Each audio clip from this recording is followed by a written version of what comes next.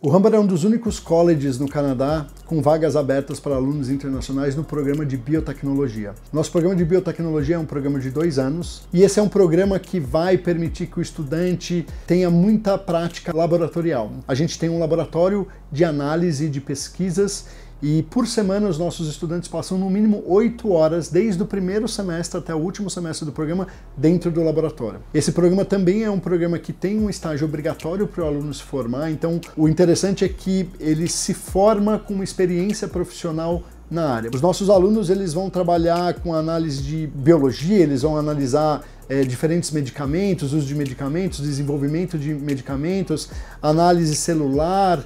É, então ele é um programa que também vai permitir que o estudante, depois de formado, possa atuar tanto na área da agricultura quanto na área da medicina.